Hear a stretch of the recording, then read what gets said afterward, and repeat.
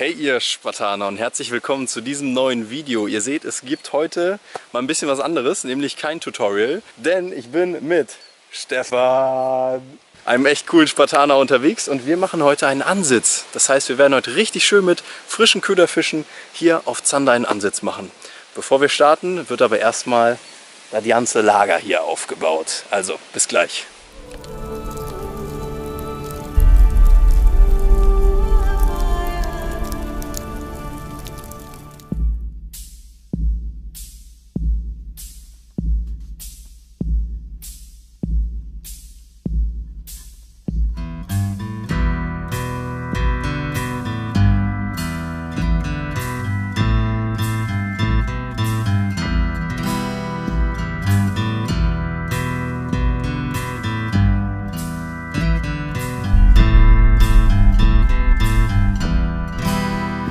Have forsaken all the love you've taken. Sleeping on a razor, there's nowhere left to fall.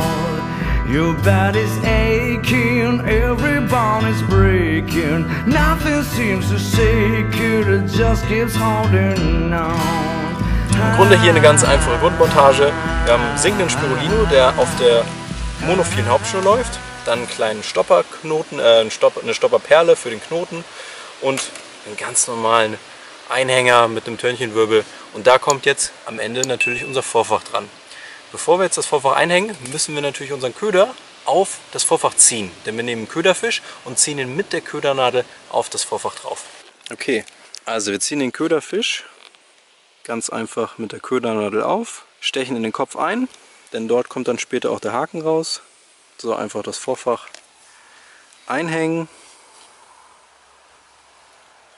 Zack, rein da. Und dann sitzt der Köder viel, viel besser drauf, rutscht einfach runter zum Haken. Und dann seht ihr es hier, die Hakenspitze kommt dann perfekt vorne im Kopfbereich raus, weil der Zander meistens halt den Köder wirklich aus dem Kopfbereich nimmt und dann perfekt vorne im Maulwinkel gehakt wird. So, so sieht das Ganze aus. Wichtig ist, dass ihr hier immer noch so ein bisschen Abstand lasst, also nicht perfekt am, am Köder, am Körper dran liegen lasst, sondern hier noch so ein bisschen Abstand und das funktioniert. Zu guter Letzt machen wir noch hier hinten einfach so einen halben Schlag und dann zieht ihr hinten die Schwanzflosse auch nochmal fest mit diesem halben Schlag. Dadurch staucht sich der Köder nicht, also der Köderfisch beim Wurf und zieht sich so am Vorfach zusammen, sondern liegt schön straff. Und wenn ihr dann einfach zieht, dann löst sich hier die Schlaufe vom Köder und dementsprechend habt ihr auch keinen Knoten im Vorfach oder sowas. Also auch eine klasse Sache.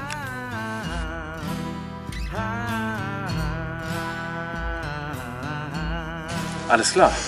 Super einfache Montage, Freunde. Richtig Indianer-Montage. Habe ich ja eben schon gezeigt. Freilaufender Spiro. Das Vorfach mit dem kleinen Köderfisch, wirklich so fingerlang, also nichts Besonderes. Schön mundgerecht. Und gegen Abend ziehen die Zander hier an der Kante lang. Heißt, ihr müsst nicht mega weit rauswerfen. Macht einfach nur ganz entspannt. Einwurf. Ja, so 5, 6 Meter raus. Lasst den absinken. Und das war's eigentlich schon. Wir haben hier die Bissanzeiger, die geben uns Bescheid, wenn ein Fisch den Köder nimmt. Wichtig ist, von der Route, von der Rolle, da gibt es nichts zu beachten. Das heißt, ihr könnt da echt alle mögliches, jedes mögliche Gerät nehmen. Wichtig ist die Montage. Ihr könnt eine alte Teleskoproute nehmen, eine High-End-Spinnroute, scheißegal. Wichtig ist, dass die Montage richtig ist. Wichtig ist, wenn ihr jetzt mit der Grundmontage fischt auf Zander, macht den Bügel auf, damit der Zander wirklich frei den Köder nehmen kann, ohne dass er einen Widerstand spürt. Und jetzt gibt es einen kleinen Trick, den ziehe ich jetzt hier mir aus der Hose raus, nämlich ein Gummibändchen. Und dieses Gummibändchen, das knotet ihr jetzt hier einfach um euren Blank. Zack, nichts Besonderes, einfach einen halben Schlag, einen Hausfrauen-Verzweiflungsknoten, wie ihr wollt. Einfach, dass das hier sitzt. Schaut nochmal, dass ihr ein bisschen Spannung hier drauf habt. Dann nehmt ihr eure Schnur, macht hier so eine Schlaufe und steckt die Schlaufe einfach unter das Gummibändchen. So, das Gute ist jetzt, wenn jetzt Wind kommen sollte, dann ist es ja scheiße, wenn der Wind die ganze Zeit die Schnur von der Rolle zieht und damit komplett unseren Kontakt zum Köder verliert und so weiter und so fort.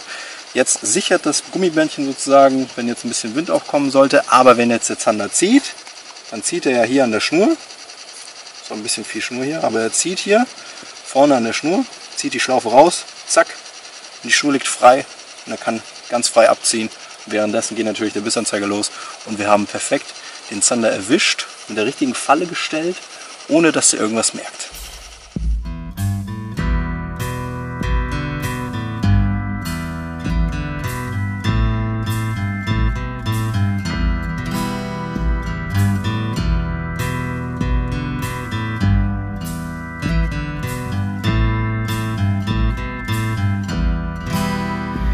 Have forsaken all the love you've taken. Sleeping on a razor, there's nowhere left to fall. Wir haben uns jetzt ein paar richtig schöne Berner Würstchen gebraten. Natürlich schön im Brötchen, klassisch. Das Lager ist soweit aufgebaut. Wir haben dafür gesorgt, dass wir hier keinen Blick mehr auf das Wasser haben, um einfach komplett uns abzuschirmen und sich voll auf die Würstchen zu konzentrieren. Das ist der Ketchup. Ist ganz egal, wie alt man ist, ist trotzdem lustig. Ne? Aber natürlich, hier ist viel Zeug. Wir haben natürlich auch hier eine Mülltüte dabei. Das heißt, lasst euch nicht äh, erschrecken von dem ganzen Zeug hier. So ist das halt, wenn man eine Nacht am Wasser verbringt. Und deshalb auch der kleine Appell an euch, wenn ihr unterwegs seid, Schnappt euch am besten hier so eine Mülltüte, da könnt ihr sofort den Müll reinmachen und natürlich auch Müll von anderen, den ihr an der Stelle seht. Packt den einfach auch mit in den Müll rein.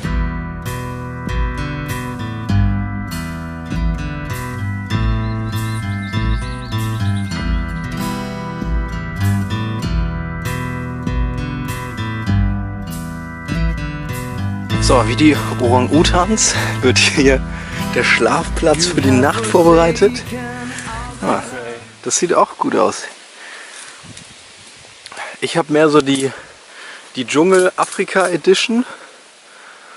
Und Stefan macht hier einen auf Baywatch. einfach eine Runde Baywatch. Ein Tag mit der Familie am Strand. Machst du noch eine kleine Wolldecke drauf, Schatz? Klasse. Ja, das ist unsere Liege, ne? Ich lasse das Handtuch drauf.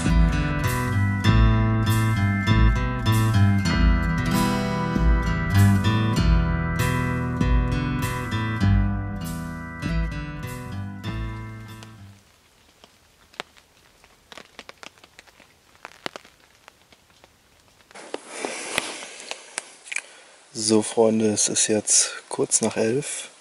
Wir werden einfach jetzt mal das Ganze aussitzen und hoffen, dass die Zander gleich an der Kante vorbei ziehen.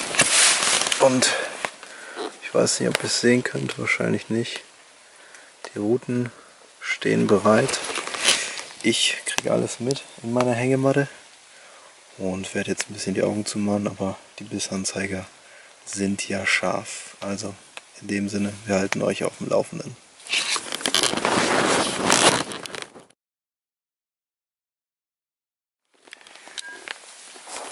So Freunde, ey, aus dem... Boah, scheiße. Hört ihr das? Der erste Biss. Ich sehe nichts. Ja, der zieht richtig. Und hängt. Man sieht nur leider nicht so wirklich die. Uh, Freunde. Schöner Was kleiner Zetti. Warte, ich kletter den frei. So sollen sie aussehen. Und der Köderfisch, der Köderfisch lugt da aus dem Maul hinaus. Perfekt. Das ist der erste. Schöner kleiner Zander.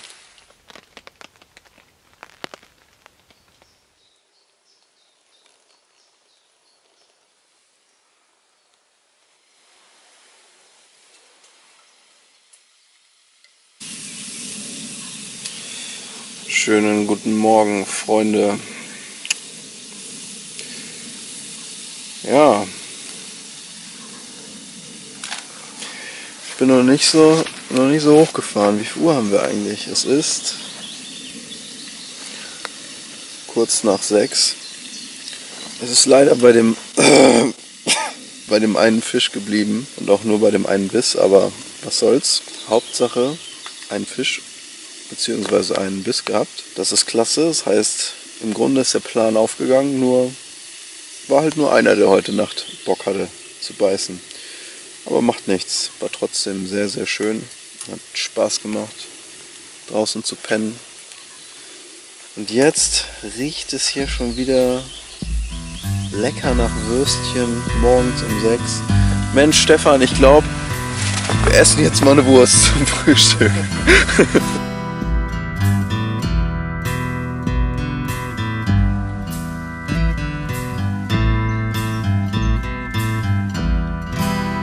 You have forsaken all the love you've taken. Sleeping on a razor, there's nowhere left to fall. Your body's aching, every bone is breaking. Nothing seems to shake you, the dust is holding on. Doch nichts als ein ausgewogenes Frühstück. Ah, ah,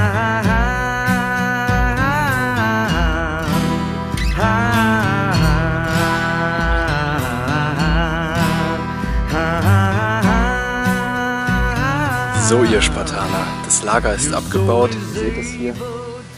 Wenn ihr das auch mal draußen macht, wenn ihr euch so ein Lager aufbaut oder allgemein, egal, wenn ihr einfach draußen am Wasser seid, dann achtet einfach darauf, dass, wenn ihr den Spot verlasst, es genauso aussieht wie vorher, als wärt ihr gar nicht da gewesen.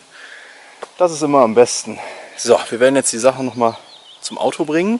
Wenn du jetzt neu dabei bist, du siehst den komischen Typen hier zum allerersten Mal und du möchtest vielleicht noch ein bisschen was zum Thema Gummifischangeln auf Zander lernen, dann schau dir am allerbesten hier unten die Links in der Videobeschreibung an. Da habe ich unter anderem ein cooles Video für dich verlinkt zum Thema Köderführung. Und da gebe ich dir einen echt coolen Trick mit in einem detaillierten Video, wie du jetzt deine Köderführung beim Gummifischangeln auf Zander verbesserst. Das ist auch mehr so meine Königsdisziplin, sage ich mal. So, aber heute war natürlich auch ein toller Tag bzw. eine tolle Nacht auch. An der Stelle auch nochmal eine Anmerkung an alle treuen Spartaner, die jetzt lange gewartet haben, denn seit heute, vermutlich seit gerade eben, wenn du das Video am Sonntag hier siehst, ist jetzt endlich der Spartaner Store online. Das heißt, du kannst dir, wenn du möchtest, ein entsprechendes T-Shirt von Spartan Fishing oder hier so ein Hoodie sichern. Das Ganze ist jetzt online. Ich habe hier unten den Link in der Beschreibung gesetzt. Das Ganze läuft jetzt noch ein paar Tage. Kannst du dir noch diese T-Shirts oder Pullis sichern. Auch noch mit einem schönen 15% Rabattcode. Kriegst das Ganze einfach günstiger jetzt am Anfang. Und dann freue ich mich darauf, vielleicht ein cooles Bild von dir zu sehen am Wasser mit einem T-Shirt oder mit einem Pulli. Vielleicht natürlich auch mit einem Fisch. Das wäre der Hammer. Kannst mir einfach eine Nachricht bei Facebook, Instagram oder per E-Mail an info@spartanfishing schreiben. Ganz egal. Wenn ihr auch Fragen habt, könnt ihr gerne mir eine Nachricht schicken oder aber hier unten in die Kommentare jetzt einfach eine Frage stellen. In dem Sinne, falls euch das Video gefallen hat, dann drückt doch bitte auf den Daumen nach oben. Wenn du neu auf dem Kanal bist, du hast noch nicht abonniert, dann drück doch bitte hier unten auf den Abonnieren-Button und auf die Glocke. Dann verpasst du auch kein neues Video hier mehr auf dem Kanal. In dem Sinne, Freunde, ich wünsche euch eine tolle Zeit am Wasser. Genießt die Natur, geht raus, genießt das Wetter, egal ob es toll oder schlecht ist und habt einfach eine tolle Zeit am Wasser. Bis dahin und ein kräftiges Au, euer Garrett von Spartan Fishing. Ciao.